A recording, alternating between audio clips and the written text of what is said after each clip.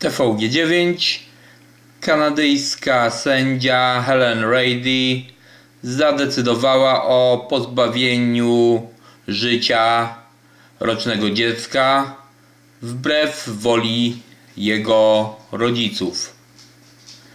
Ja przepraszam bardzo, bo już y, po raz drugi umieszczam filmik na ten temat. Y, po prostu pierwszy filmik zrobiłem na szybkiego.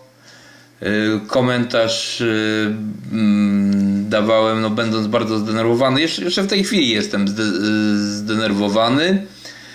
I, I tam zrobiłem parę błędów, także zlikwidowałem go teraz y, po raz kolejny. Mm, chcę powiedzieć parę słów na ten temat. Y, no, sama eutanazja jest y, no, sprzeczna z chrześcijaństwem, na, na którym opiera się nasza cywilizacja. No, jeszcze na, na temat tak zwanej eutanazji biernej przez odcięcie yy, yy, przyrządów podtrzymujących życie no jeszcze mo można dyskutować ewentualnie, ale w całej sprawie jest najgorsze to, że decyzję taką dotyczącą życia dziecka sąd podjął wbrew woli rodziców. Jest to y, no już y, totalne odebranie dzieci y, rodzicom państwo i sądy no, stały się już, stają się, no, próbują stać się panami życia i śmierci dzieci, a y, rodziców no, pozbawić już, już w zasadzie wszelkiej kontroli nad dzieckiem, nawet decydowania, o ich życiu, o podtrzymywaniu, podtrzymaniu ich przy życiu.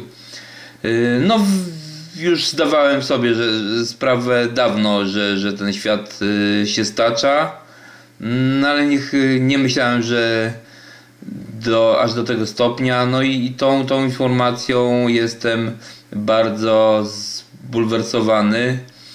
No, y, decyzja sądu ma, wyrok sądu ma być wykonany już w poniedziałek czyli temu chłopczykowi zostały no niespełna dwa dni życia.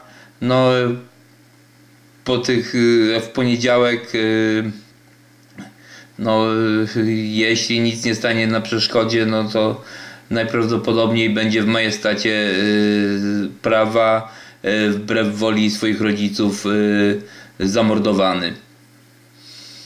Mm, i no, za tą, tę decyzję odpowiedzialna jest sędzia Helen Rady. Bardzo ważne jest, żeby, żeby nie pozostała anonimowa, żeby cały świat wiedział, kto, kto taką decyzję e, podjął. Także no straszne rzeczy dzieją się na świecie i to niby w niby cywilizowanych państwach jak Kanada.